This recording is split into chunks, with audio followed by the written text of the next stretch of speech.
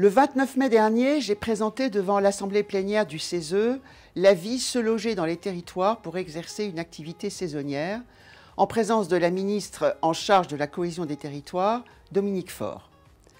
Cet avis a permis de témoigner des inquiétudes des saisonniers, des employeurs, des territoires touristiques et ruraux, confrontés aux difficultés d'hébergement et par là même aux difficultés de recrutement des emplois saisonniers pourtant déterminant pour le dynamisme euh, des territoires concernés. Pour élaborer le diagnostic et formuler des pistes d'action, nous avons souhaité aller au plus près des réalités des acteurs de terrain.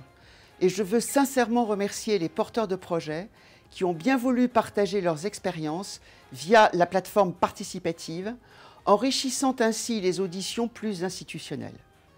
En premier lieu, vos contributions témoignent d'un foisonnement d'initiatives portées par une multiplicité d'acteurs partout sur le territoire. En effet, en réponse à leurs problématiques locales, les employeurs, les collectivités, les associations, les bailleurs sociaux, Action Logement et bien d'autres se mobilisent pour trouver des solutions parfois très innovantes. Construction de logements, rénovation, utilisation de bâtiments destinés à un autre usage, facilitation de la mise en relation entre l'offre et la demande, et j'en oublie. Cette diversité de solutions et de parties prenantes est une grande richesse, c'est notre premier constat. Mais elle souffre d'une absence d'approche transversale et globale qui serait pourtant de nature à accompagner vos initiatives et à les optimiser. C'est pourquoi le CESE insiste, au travers de ses 15 préconisations opérationnelles, sur la nécessité de définir et de piloter une stratégie nationale pour favoriser dans les territoires l'émergence et la pérennisation de projets en faveur du logement des saisonniers.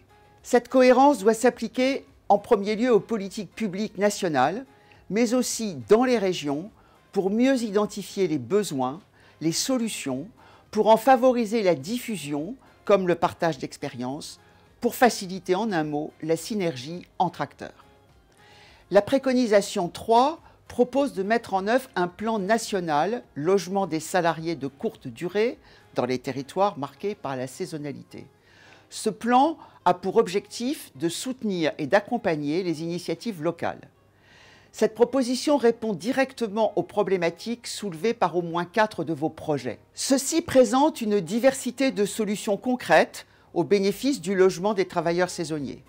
Hébergement chez l'habitant, chez les personnes âgées notamment, solutions partagées entre des publics étudiants l'hiver et saisonniers l'été, sous-location de logements sociaux pour des étudiants en BTS à l'année et pour les saisonniers l'été, voire au mois ou à la semaine. Ces projets mériteraient donc un appui dans le cadre d'un plan national qui fonctionnerait sur le modèle d'Action Cœur de Ville et sur la base d'appel à projets. La remise sur le marché des logements vacants ou en déshérence est une nécessité absolue face à la pénurie de logements.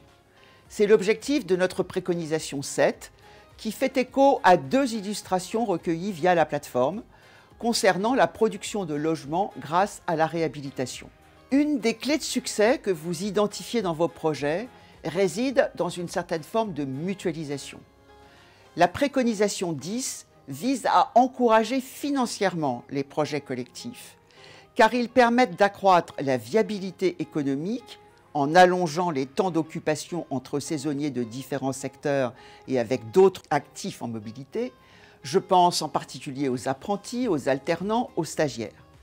Ces projets collectifs permettent aussi d'associer plusieurs acteurs, groupements d'employeurs, bailleurs sociaux, associations, collectivités et bien sûr partenaires financiers. Ils permettent enfin d'assumer le coût de prestations annexes telles que la mobilité, la gestion, l'entretien, la sécurité, l'accueil, l'intermédiation pour éviter d'éventuels conflits avec le voisinage. Dans le même souci de partenariat d'acteurs, la préconisation 13 soutient la création de foncières locales au niveau des EPCI pour assurer le portage foncier de projets collectifs d'hébergement des actifs en mobilité. La préconisation 14 a pour objectif d'accompagner le financement de la viabilisation de plateformes permettant l'accueil d'habitats temporaires pour les travailleurs saisonniers dès lors qu'il s'agit de projets de territoire. Et la contribution mettant en exergue l'importance de ces modes d'hébergement a inspiré notre demande d'une procédure spécifique dans les plans locaux d'urbanisme pour les STECAL, secteurs de taille et de capacité d'accueil limitée. Enfin, il va sans dire que cette stratégie nationale que nous préconisons n'aura de sens que si elle répond aux besoins des travailleurs saisonniers eux-mêmes. Un trop grand nombre d'entre eux ignorent leurs droits et les aides dont ils peuvent bénéficier, avec un taux significatif de non-recours à ces aides. La préconisation 15 recommande l'élaboration de vadémécum, régulièrement actualisé et traduit dans les principales langues des saisonniers étrangers, des vadémécums qui devraient être diffusés par l'ensemble des acteurs de terrain. Et de même, comme le souligne une de vos contributions, la mise en relation de l'offre d'hébergement avec la demande doit être organisée et généralisée via des plateformes consultables en ligne. En conclusion, j'espère, nous espérons, que cet avis, auquel la plateforme participative a largement contribué, permettra d'enclencher une nouvelle dynamique en faveur du logement des travailleurs saisonniers. Cet avis ne s'arrête pas là.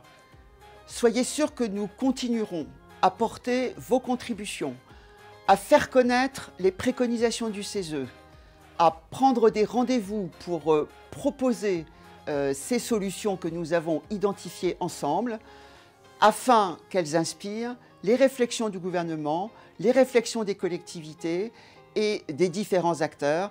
Encore merci à vous et continuons à travailler ensemble pour cette question qui nous anime tous, celle du logement des travailleurs saisonniers.